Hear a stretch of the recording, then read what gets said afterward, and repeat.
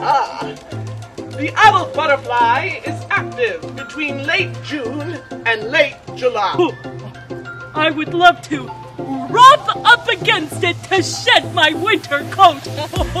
Oh, yeah. Oh, oh, that's the spot. Yeah.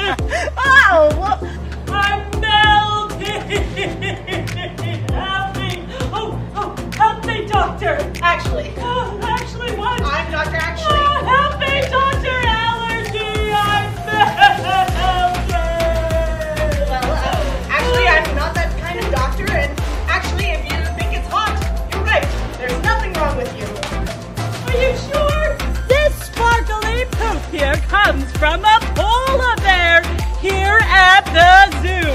Wait for it, wait for it, everyone! Ooh. Ah.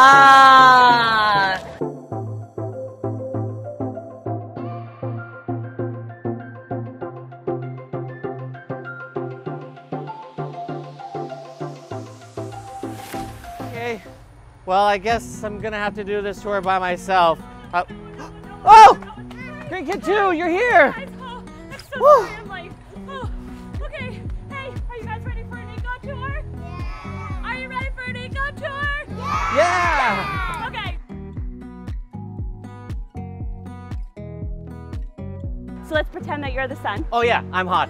The heat of the sun actually speeds up the entire process. So ready to go faster? Ready? And, and it goes, and it goes, and it goes, and it goes, and it goes until it's compost. Compost. Awesome, thank you. Mm-hmm.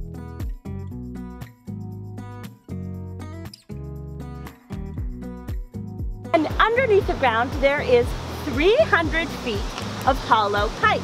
Now, the tallest building in Winnipeg is actually 300 feet above the ground. So imagine that super tall building underneath the ground in these hollow pipes.